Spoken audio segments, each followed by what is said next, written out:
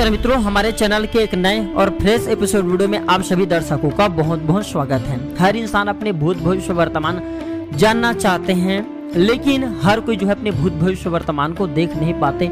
इसके लिए काफ़ी साधना करने की ज़रूरत पड़ती है बड़े बड़े तांत्रिक भी इन क्रियाओं में संपन्न नहीं हो पाते।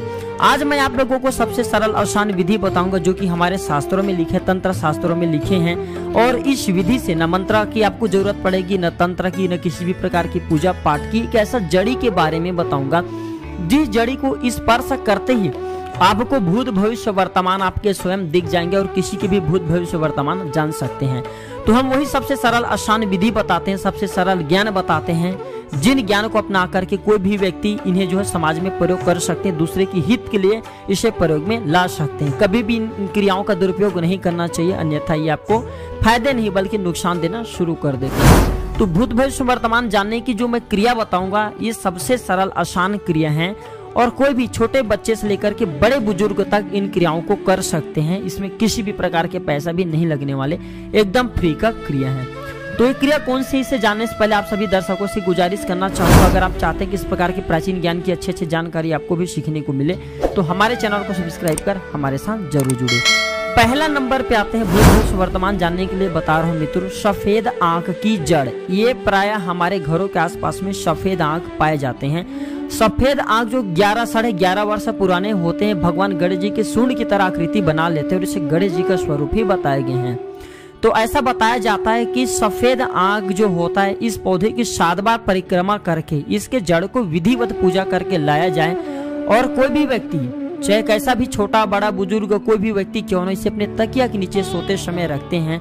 तो सपने में सात दिन के भीतर में उनके खुद भूत भविष्य वर्तमान दिख जाते हैं। वो जो भी चीज़ अपने भूत भविष्य वर्तमान में देखना चाहते हैं, वो सारे चीज़ दिख जाते हैं। अब आप बोलेंगे कि सट्टे का नंबर दिखे या जो है लॉटरी का टिकट दिखे तो ऐसा नहीं होने वाला। केवल आपके भूत भविष्य वर्तमान दिखेंगे, जो कि भविष्य में आपके ऐसा घटना है जो घटित होने वाले हैं। दूसरे नंबर पे आते हैं जंगल की अमर बेल।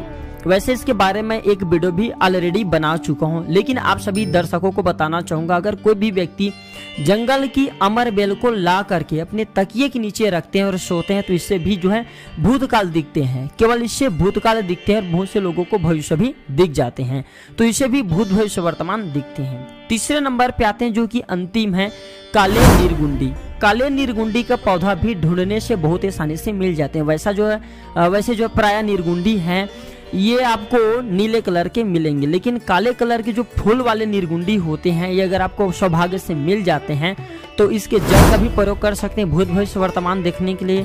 जड़ न मिल पाने पर इसके पुष्पा का प्रयोग कर सकते हैं, पुष्पा नहीं है तो इसके तने का भी प्रयोग कर सकते हैं। तंत्र शास्त्रों में इसे प्रबल वनस्पति बताया है, क्योंकि इसके द्वारा आदमी जो है आसमान में भी उड़ सकते हैं। हमने इसके बारे में वीडियो बनाए थे, अदृश्य होने की शक्ति प्राप्त हो जाते हैं। मतलब इससे जो है बहुत सारे क्रियाओं को तंत्र में संपन्न किया जाता है।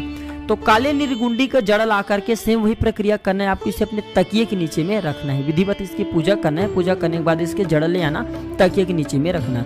आपके स्वयं के भूत भविष्य वर्तमान दिख जाएँगे। हमने तीन उपाय बताए हैं, तीन उपाय में से जो आपको अच्छा लगे उपाय करें अपने भूत भविष्य वर्तमान देखने के लिए। तो आज की जानकारी पर समाप्त करते हैं। यह जानकारी कैसा लगे हमें कमेंट सेक्शन के ज़रिए ज़रूर बताएँ। वीडियो देखने के लिए धन्यवाद, नमस्कार।